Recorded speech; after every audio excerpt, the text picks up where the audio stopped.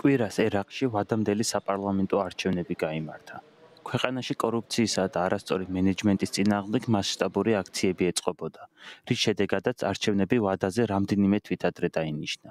ექსპერტების მონაცემებით კვირას გამართულ საპარლამენტო არჩევნებზე რეკორდულად დაბალი აქტივობა იყო, რადგან იმ აქტივისტების დიდმა ნაწილმა, რომლებიც ქუჩებში 2019 წლიდან გამოდიოდნენ, არჩევნებს ბოიკოტი გამოუცხადა. ერაყის ვადამდელ საპარლამენტო არჩევნებზე ევროკავშირის სადამკვირვებლო მისიას ევროპარლამენტარი ვიოლა ფონ კრამონი ხელმძღვანელობდა.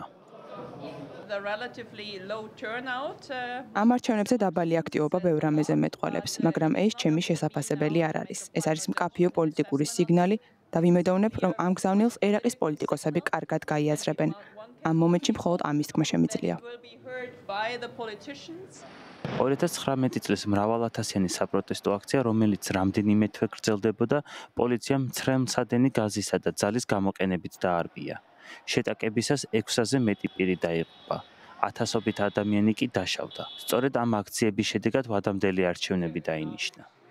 ერაყის ცენტრალური საარჩევნო კომისიის მონაცემებით, წინასწარი შედეგები კენჭისყრის დასრულებიდან 24 საათის განმავლობაში გამოცხადდება.